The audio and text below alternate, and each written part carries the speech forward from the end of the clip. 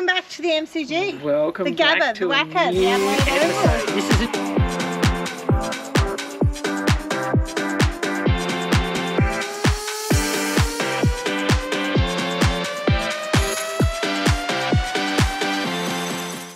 Welcome back to a new episode. welcome. We are doing something a little bit different. We haven't touched on this yet. Uh, we are talking about our budget. Oh, budgets. Everybody loves a good budget. Look, I love budgets. We have been on the road for three months and I thought it was time we let you know how we're going budget wise and how you can save $300 a week off your budget too.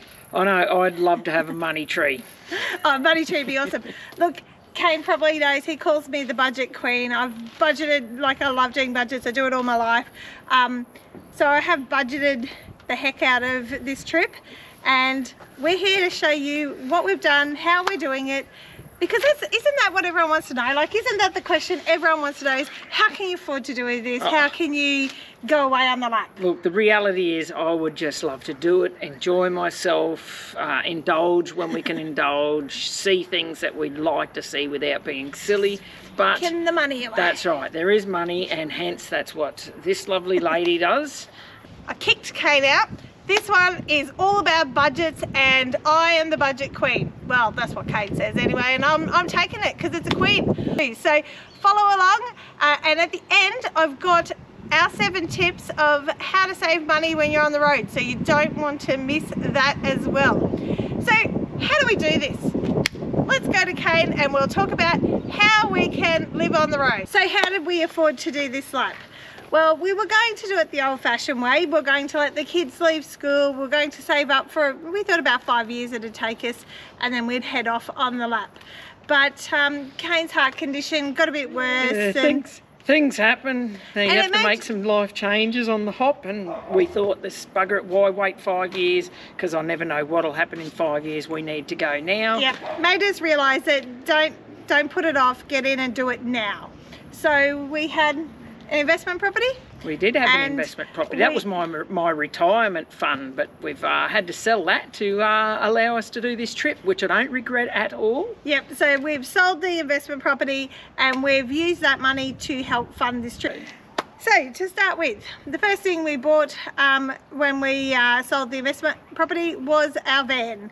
Um, we'd already bought it, but we had a loan for it. But the first thing we did was pay that loan out straight away. That's right. We're trying to get rid of as many loans and bills as we could, because when you're travelling, you don't want to have your everyday bills keep racking up. So Now we, we didn't want to go too big. We we kept we kept with a good budget and that. So and we weren't chasing a massive caravan or whatever. We can Yep. quite comfortably live in a small space. So we do love what do we our have? little hybrid. We have the uh, AUSRV XL13. from MDC, It's an MDC. and yes. it cost us six 62 delivered to Townsville. Yep.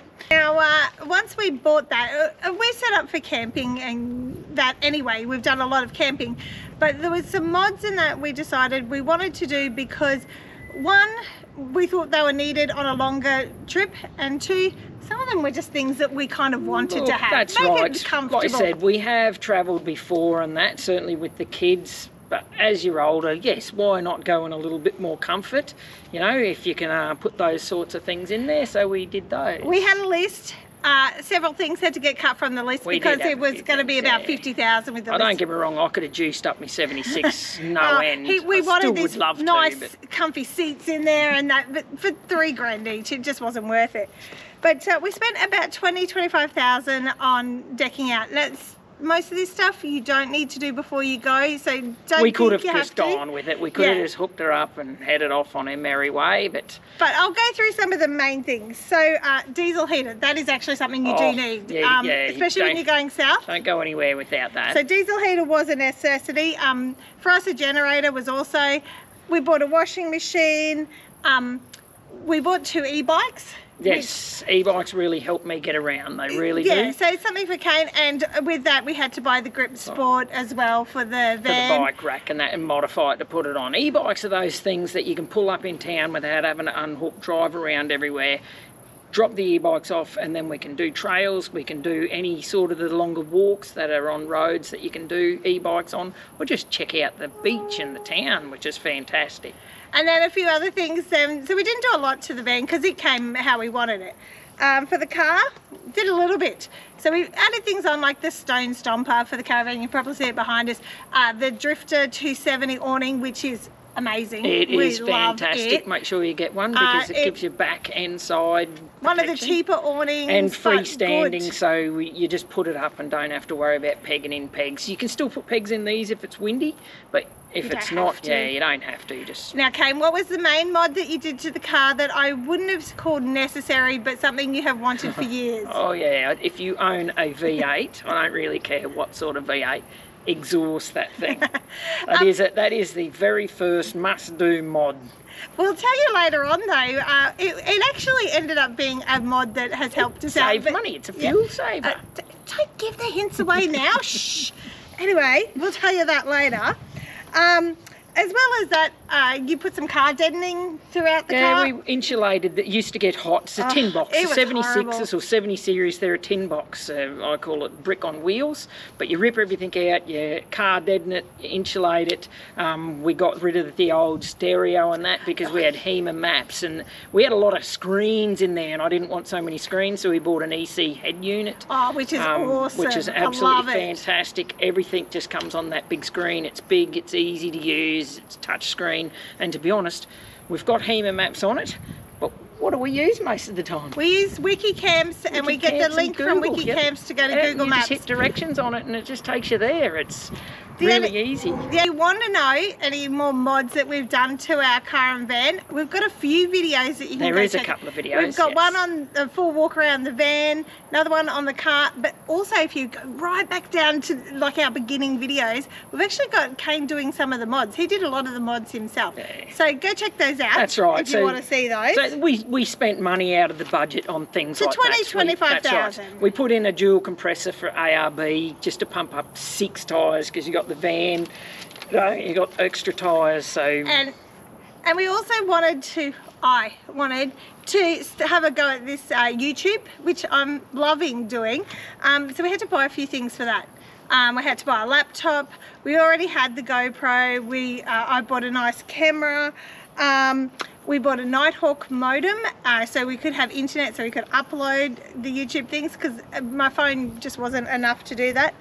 Um, we had a drone, but it was one Yes. of the old ones. We got rid of it where we met some people and saw these U-Butte little DJI Mini 3s. So we sort of had that money there to, to sort of do that. And as well, we got the pocket as well. And you don't need all that. A GoPro is probably, the GoPro Your- is your- our main Your thing. camera phone, to be honest, you Yeah. could really do that. But the GoPro was our main go-to. is yeah for YouTube. Um, so you can either buy just one thing, or we had a bit of extra money, and this was sort of our treat um, for working hard, and we wanted a few of these things, so we've got them. The other thing that we bought was a sat phone, um, and it was expensive. Um, was. and we have to. It's sixty-five dollars a month, but with Cain's Heart, There was a fair bit of debate about which one to get. So I tried telling him no, we can- don't have to spend that much money. But in all reality, yes, we had to get the top of the range. We had to make sure we could have satellite anywhere. And Yeah. when we do hikes or walking away from your vehicles, away from your Starlinks and that, if you've got them, the sat phone is the only device we can physically talk to doctors and, and So- emergency staff. as much as I love Starlink, um, we just can't justify it because it's. Thanks, Train. Uh, Starlink wouldn't um, wouldn't be able to be It's taken not on a portable. hike. Starlink's Yeah. not portable. I can't whack it in my pack because you need to plug it into power and take it with us. So the sat phone was, you know, Hopefully these new iPhones and that coming out are coming out with some of these facilities, so you might be able to get rid of your sat phone. Okay, so we've had a look. So so far in the house, we spent sixty thousand on the caravan, twenty twenty five on mods and technology to update. Um, we also put seventeen thousand dollars aside for our bills. Now, what sort of bills? This is insurance and regos, um, health fund, of course, with Cain. We have to have that. Um, Kane has a lot of medicines. Um, we had to be, uh, for doctors, we had to be able to fly him back to That's right. Brisbane once or twice a year. Um, all your subscriptions like your phone, our Nighthawk modem, our sat phone, and then all your apps uh, for different things that That's you right. know, They, those. they do add up. Everything does add up. So, so that was that was seventeen thousand dollars. Now we I don't think I mentioned this. Um, we had a house in Townsville as well. We didn't sell We it. We still have the house Yep. in Townsville. So we rented it out and it pays for all its It own bills. it, so we didn't have to put money aside for that. So that is very thankful. So yeah, 17,000 that covers our bills. So when I talk about how much it costs for the lap as such, we took all those bills out of that equation. Um, then I put some other money aside. I we wanted ten thousand dollars um, just sitting there in case something broke down with the car. You know, it's That's getting it. older. That's all shit hits the fan. No, that's another one. Stop trying to tell Oh. me what's in my budget. Okay, stay out of it. He's got no idea. Um, so that's for breakdowns. Then we put another ten thousand dollars aside for experiences. We, you know, a big ticket item, not just um, going into a museum or something, but these are big ticket item experiences we want to do. And then we had your ten thousand dollars for. all poop hits the fan. I just wanted that as backup money. If you needed to be able to get home or do It's- something, That's right. If you're it's just, just complete there. emergency, you just need it. It's, it's there. It's So, and that left us with um, $55,000 for the lap. So we got $55,000 to do the lap, which if you work it out, that's about $1,000 a week, which we, uh, I loved all the budget ones. So we would sit there and watch the budget ones. We meaning all right. I'm me. look, we had more monies, but we did work out because we watched a lot of people's YouTubes and budgets, and everyone sort of said, "Oh, so many dollars per kilometre, so much money per um, Week. Week. We worked on the weekly one. We did our own Yeah. little budget up on that, but we sort of worked on that thousand dollars a week. thousand dollars a week. And so what I did, I put all the fifty-five thousand dollars in a sub account. We're with Suncorp, so I have lots of sub accounts, and I love that. Um, and then every week I would pay into our main account pay the ourselves. thousand. It was like your, your wage. You get paid a yep. thousand dollars, and that would go into our account, which I found really good because then you knew how much you could spend for that week. So we sort of broke it down, and I'll put this up on the screen. Uh, $600 for fuel, $100 a week for accommodation, $200 for food, and $100 for extra. Now, getting to this end of like our three months, because I've written everything down for three months because I wanted to see how it went. And we're actually under the thousand dollars every week. And it's only then you start going oh well we've got extra money in here. We may as well go and spend it on random stuff we didn't need. So we, Ken and I just had a big talk the other day and we've decided to actually cut our weekly budget down to $700 We- been doing it for a couple of weeks now and um, it was the fuel. We literally took, we had $600 in fuel. We took it out and put it down to 300. So the 300 we have literally taken out of fuel. Uh, food, accommodation is still the same. $100 for accommodation, $200 for fuel, uh, food. I've actually joined food and extras together because sometimes you eat out, sometimes you buy groceries. Like it's easier if it's all together. Um, but as Cain was saying, going slower, it helps You are right. It helps with accommodation. It helps with fuel. It's just your everyday running costs. Plus, you enjoy yourself a lot more, and you meet people while you're doing that, and you just really tend to relax a lot more. So all of our other trips that we've done have always been fast, bang, thousands of kilometres.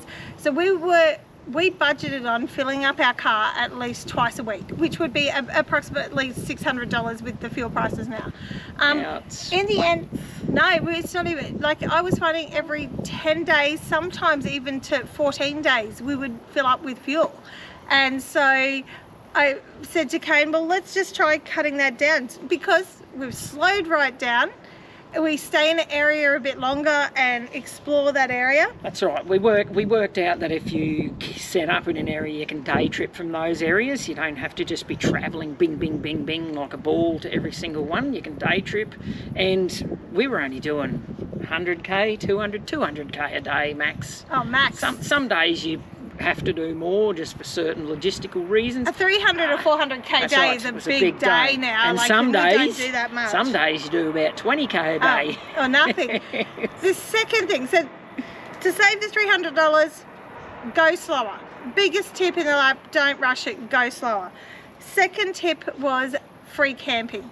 Um, free camping. Now, in my head, in my budget, I did $100 a week. I had planned to do a lot of free camping because that's what we like to do. We do like But to do free camping. In reality, I thought it wasn't. I thought we wouldn't be able to do as much as we'd hoped. I thought we'd have to be going to caravan parks and that more often. I have gone through every accommodation that we've had for the last three months, and um, this is pretty much how it's worked out. Twenty percent of the time we have been in caravan parks, so that is it. Um, and we shop around for caravan parks. So our most expensive was at Dubbo at $45 a night and our cheapest was Brown's Rocks and it was $30 a night powered. That, Twenty which is percent, pretty one good. in five. Every fifth day we're in a caravan park. We're not. Uh, that, this is Where- a stats case. I don't know where their stats are coming from, but we're definitely not in a caravan park. No, but what would we do is five nights at a caravan park. Like we're in we're at Eden, you go five nights at a caravan park and then Yes, but Eden's a place that really there's only caravan parks at Eden. So yes. Are you arguing with my stats? Oh, I was just pointing it out. We do a lot more low cost budget free camping. 20% is all we do in caravan parks. That means 80% of the time we're not. But 80% of the money we're not. Yes. Yes. Okay. Yeah. Oh, the next 20% we uh, spent at donation um, camps and showgrounds. And they would be anything from $5 a night up to, I think the dearest was about $25 at some showgrounds we paid. But they had showers and toilets and power for $25 a night. That's So- right. Some showgrounds are really, really good. So don't be scared to try and check out a few of the showgrounds. Yeah, oh, They are really well worth going to. Look, I would say free camping is my favourite, but I actually and, uh, the donation and showgrounds camps are right up there. They're awesome. But that means that 60% of the time that we've been away in these three three months have been free camps, and there's actually a lot more free camps out there than you would think. There is. Um, Cain, I give it, he spends most of the time on wiki camps searching, but often I would go, there's nothing in this area, Cain, there's no free camps. But you have to scroll in more, don't you? You and do, and, and you've sort of got to look just outside of the area that you want to visit. So, you know, you go, look, uh, for 20k further out, we've got a beautiful free camp and we can drive 20k in, day trip, all that stuff, and save money on free camping. We spend more money in the town the stuff that we're doing. Yeah, that's right. So, uh, yeah, we don't mind being 20k out of town or something like that. Um, if you want to know more about free camps, check out our video. I'll put the link in um, the bio for uh, 10 free camps in New South Wales. That's right. It, these were our top picks and there's some oh, some yeah, they, yeah. Look, there's there'd be a lot more, but they were the ones we went to, They're and they were definitely ones. our top fellas. Otherwise, just go back and watch all our videos and you can check out all the camps. We always try and put in, if it's free, how much we pay, because I know that's handy for you guys to know as well. Okay, when with our budgeting, Cain, what has been some unexpected things that you've come across? And, you know, some things that we didn't expect were going to cost as much money. First of all, like the drone and the DJI, like they weren't expected or planned, but we did have money for them. That's right. They were just some nice little niceties. We met some people. They looked really good. Their quality was awesome, and they helped us out. So yes, we did purchase them. My drone I had was old, clunky, and it nearly crashed on me into the ocean because it just failed. So we needed some of those niceties. Yes. So that wasn't really, and There wasn't. There's not really a lot of other costs that one would say. Oh, you know what? Are what you saying my budgeting is good? it was it was actually spot on. Like you said, the thousand a week it. is really comfortable travelling. Seven hundred was you know very reasonable, nice For two of us. for, for yep. two of us is nice. Now we understand everybody's different. Everybody has different tastes and that, Yeah. but um, Look, you know, we probably the most unexpected. There's two for me. One, we spent more money on ice cream than I thought we oh were yeah, going to. we we have become ice creams are ice very cream tasty. Yeah, very, you can't go past a good ice cream. Yep. So ice cream. Um, the other one, which was probably even more unexpected, was alcohol. Now most people would go, "Oh yeah, you're okay," but Cain and I aren't big drinkers. No, we're and not. we actually going to places like the Hunter Valley and the Clarence Valley. Like we try. your, your non-mainstream alcoholic drinks are actually really good. So And and it's a nice atmosphere. Look, we don't really go to breweries and that That's sort of stuff right. very often, but it, we do try and find some of those different They do. gin, They do. vodka They do cost more. That's probably Yeah. the reality. They spend a little bit more, but they're not your mainstream ones, and they actually taste really good. So Now, things that were cheaper than expected. Well, number one was fuel. Fuel, Fuel. fuel. I mean, and it's it, it feels crazy saying that fuel. everybody says fuel's your most Yeah. expensive. It probably and, is. and it's a, fuel's the most expensive. We went through price. thinking up here, and to be honest, it was a, a much more manageable level than we thought. Especially because when we left, fuel had just ripped up to two dollars Oh, a ah, it's litre. We've never seen it that expensive before, and we thought we were going to blow the budget on fuel, and it's actually been our surprise. Now, fuel, we understand that um, people say that the exhausts and that uh, they don't do anything. Uh, Just for what? For me, it saved me a couple of litres per Mm. Well, hundred. we were over 20 kilometres. Yeah, I was about 100. 22, 20 to 22 Yeah. towing, travelling like we're doing. I put the exhaust system in now. I sit between 18 and 20 Okay. per 100. Has to So- save and, and I haven't done anything different. I'm not towing anything different. I'm not, I said so. To me, it's has got to be the exhaust system. And the other thing is accommodation, which I think I've already touched on. I did. I expected it to actually cost more. I thought we would maybe have to be at caravan parks We weren't counting on so many free camps available. Yeah, and we found lots. So definitely do your research. Free camps are out there, and not just free camps. I think some people think there's only free camps. Donation. Donation, camps. Five dollars That's a right. night, or some of the national parks are six dollars for a That's week. right. So, Like- so to, to me, they all count into the um the, the low cost camping. There's Yes, actually an abundance yes. of it. You don't just have to do caravan parks. Okay, so what are the happening empty nesters? I was seeing if I had 10. Sorry, I was looking at my list. No, we have top seven tips on how to save money on your life. Now, this is only for our first three months. We might find more later on, but these are our top. This is what worked for us. Yes. Like I said, everybody's different. It's what worked for us. we don't us. have any kids running That's around right, with us, yep. so we don't have to worry about that. Number one, free camp, which we've said. That's um, it. my tip with free camping as well, though, is on school holidays. Try to get into a free camp area. and if you go there a couple of days or a week before the school holidays, you get in, you can set up. So You, you do have to plan your trips around public holidays, school holidays, um, even like long weekend, which is a public holiday, because your free camps, any camping is chock a block, and we understand that, so we try and cater and account for It's that. also when caravan parks bump up their money. So if you can get into a free camp then and don't have to go to a caravan park, you're saving money to start with. Tip number two, travel slowly. Slow down. Yep. I said you're not going to see it all. You can easily get around Australia in a year if you go slow down. And you, if you go a million miles an hour, you are not going to see everything. That's the reality. You And will not see everything. You're going to be tired and you're not going to enjoy it half as much. So yeah, definitely slow down. Tip number three, where do you go to look for your petrol prices, Kate? you, get, you get an app. There's a few of them, but you can get like a petrol spy app. Is what we use. I normally slide through it. You work out how much fuel you've got in your car, and say, look, this town up here is cheaper than the one I was gonna further say, on, or the one further that? on is cheaper. Yes, and you go, yep, I can make it that far. So then you go to those towns and fill up. Other tip is if you do come to a place that is good cheap fuel, car doesn't have to be empty. Just top it up because it's gonna be. You'll save a little bit of money that way as well. And look at all those other apps. There's heaps out there at the moment that have four cents a litre off. Um, G'day Parks. Um, I found LinkedIn, Linked um, has four cents a litre off. RACQ. Um, NRMA, different petrol stations, That's but right. they Use all, all, help. those. We, Yeah. I, we also look on the app and go, look, yeah, this this place is four cents dearer. So even if I use that, it's still cheaper to That's go to some others. So y- we do a little bit of research on that as well. Tip number four is um, as much as we put money aside for experiences, most of the experiences we do are actually free or cheap ones. So look around, use the apps to actually find what's in the area. So some of our um, apps that we use, WikiCamps, like that has not just camps on it, it has heaps of stuff about what's in the destination and things you can go look at.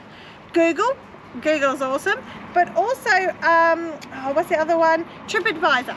TripAdvisor, I'd say we're coming into Dubbo. What's the top 10 things to see in Dubbo? We we do a bit of research on the platforms and you look at everyone's reviews and, and you'll Yep. even when you meet other travellers they'll tell you some spots to go to and some of them are amazing that we didn't even know about. So And we're doing things like um, hikes. We don't do big hikes necessarily, except for South Point, but um, we do some hikes. We like to go to look at waterfalls, lookouts, lighthouses, all those sort of things that don't cost anything.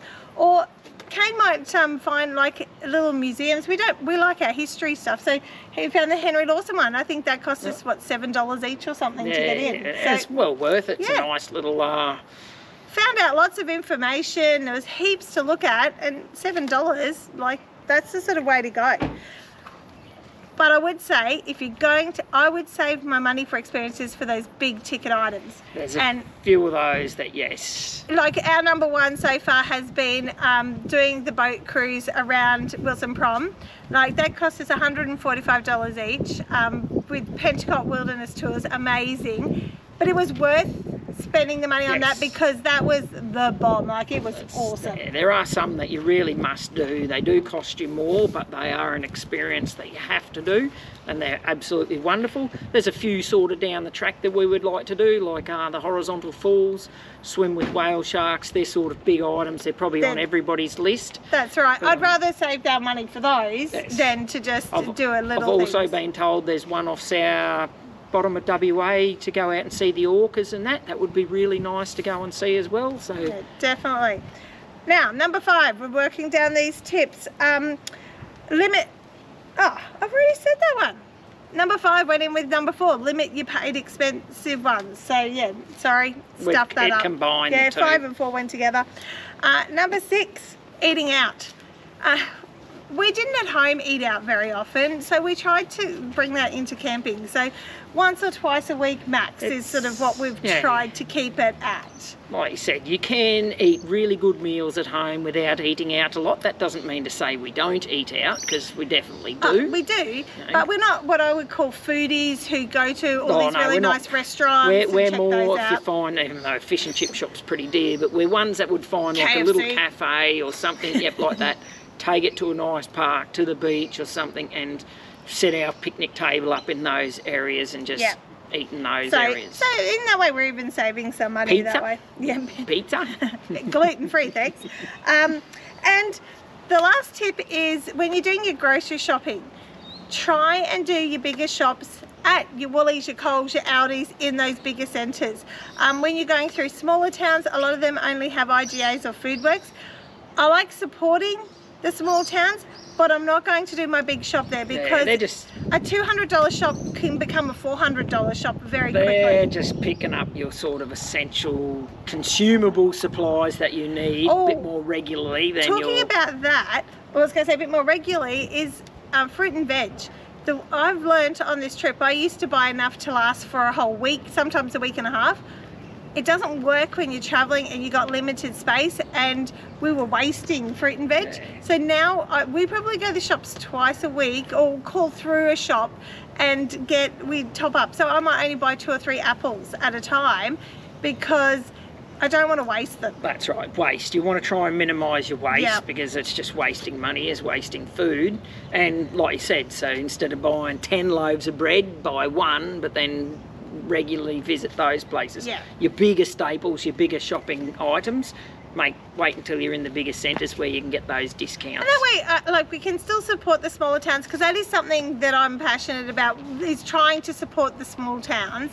Um, so we do try and buy some things there, but you have to be realistic with your budget too, don't you? You- don't want to do. kill your budget. No. It, it works for us, and the, the reality is, is there's a lot of people out there like us, and it would work for them as well. There's other hmm. people that they just want to get out and and splurge and all that. Good on you, you know. And we're trying to make our 55 go for as long as it can.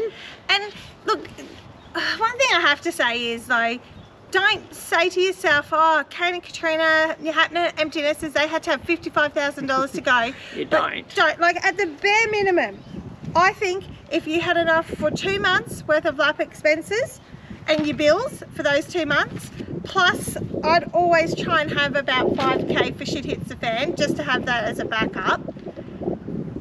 go with that. If you are willing to work on the road, there is so That's many right. different Look, ways even to that, get money. I'm not going to lie, we have met plenty of travellers out there that are doing it for half the budget Ah. that we do it for. So that's right. So, So- please, please don't let it stop you. Like I don't want our budget. I'm just, I want to be transparent and show you how right. we're doing it. So, and and the ones that do it for half the budget obviously aren't doing the big ticket touristy items, Yes. but there's plenty of waterfalls, hikes, a lot of free camping, a lot of free places that you can go to, and their budgets are really small and they're enjoying themselves and they're going to have a year off or a short time off just to travel and and, all, then they've still got all those memories, haven't that's they? That's correct. Um, yeah, so our biggest thing is like just if you really want to do this, don't put it off. Don't say, oh, when I get older or later on. None of us know what's in store for us in life, and so many people we have met on the road have said they've had issues and now they've done it. They wish they went earlier.